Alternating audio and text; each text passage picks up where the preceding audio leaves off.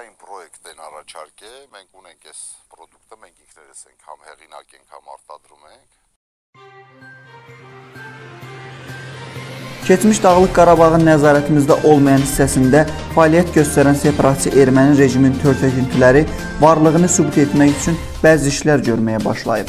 Belə ki, Xankəndində erməni nəşrinin yaydığı məlumata görə bu günlərdə Xocalı rayonunun Ovsepavan adlanmış Daşbulaq kəndində son müharibədən köçkün düşmüş ermənilər üçün tez tikilən taxta evlər qurulmağa başlayıb. Bu haqda Azərbaycan ərazisində qanunsuz fəaliyyət göstərən Şen Arsaq şirkətinin direktor müavini Meger Derdizyan məlumat verib. Məlumata əsasən taxta konstruksiyalardan qurulan belə bir ev 5 nəfərlik komanda ilə bir ay ərzində tam istifadəyə verilə bilir.